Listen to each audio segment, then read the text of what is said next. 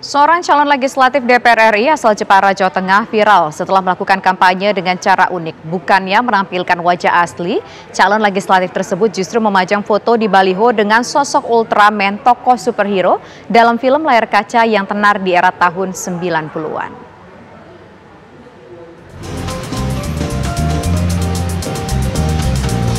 Dalam unggahan di media sosial, caleg asal Jepara ini terlihat membagikan kaos ke pengguna jalan.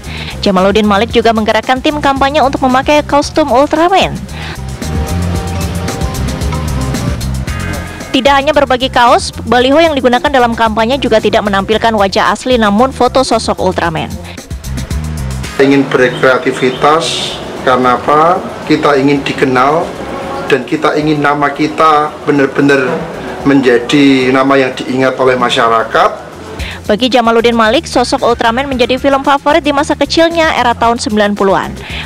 Menurutnya, para penggemar Ultraman di eranya dipastikan telah memiliki hak pilih dalam pemilu dan akan kembali mengingat tokoh tersebut.